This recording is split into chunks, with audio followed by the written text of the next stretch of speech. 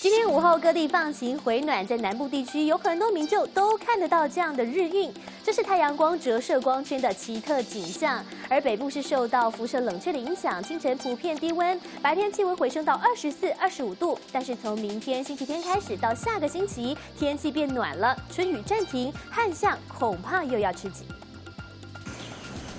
三月流苏开在雨后阳光蓝天下，感觉特别舒爽。二十八号全台最低温是淡水十二点七度，台北也只有十三点九度。这是受到辐射冷却效应的影响，日夜温差大。北部白天气温上升到二十四五度，水汽偏少，大家期待的春雨暂时说拜拜。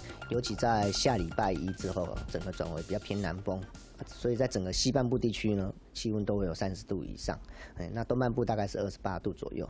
这样的话，也会造成西半部地区哦，日夜温差会比较大一点。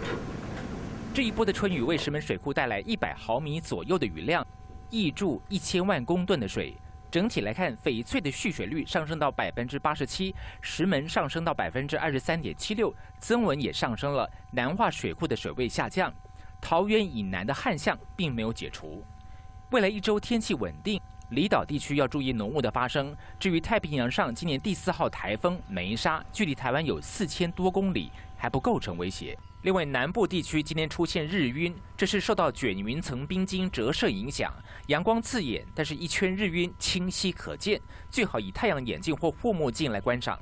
记者综合报道。